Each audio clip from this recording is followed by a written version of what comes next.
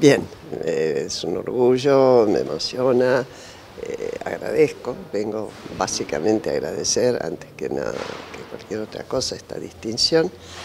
Y bueno, mucho más.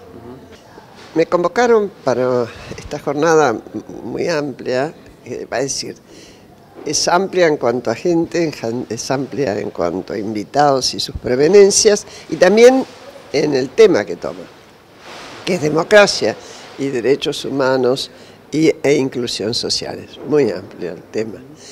Eh, yo voy a referirme sobre todo al tema de cuándo se rompió el consenso de 1983, nunca más a la violencia, nunca más al atentado a la democracia, nunca más a la violación de derechos humanos.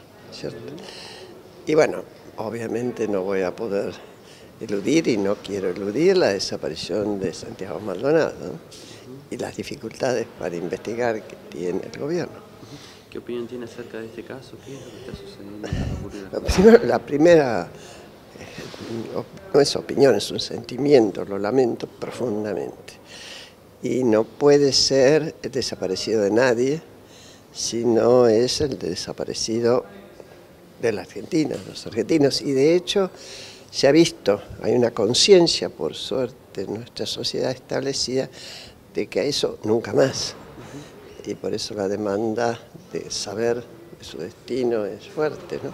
Puede haber desde descuidos, desde desintereses y desde intereses. Hay de todo. Por eso decía, eh, Santiago Maldonado no es de tal o cual grupo es de todos.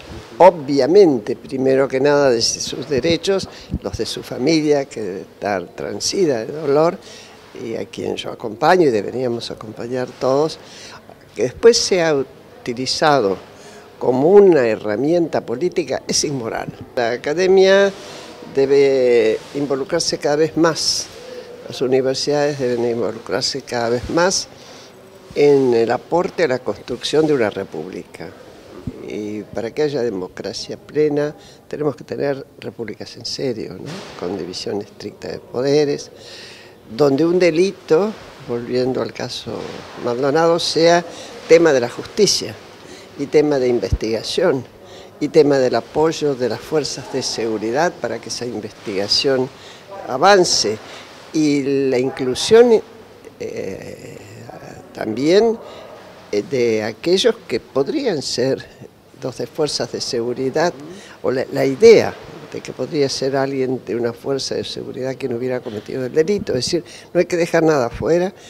Y una democracia es eso, aquella que hace funcionar bien o donde la gente hace funcionar bien las instituciones que atienden a sus demandas y a sus derechos.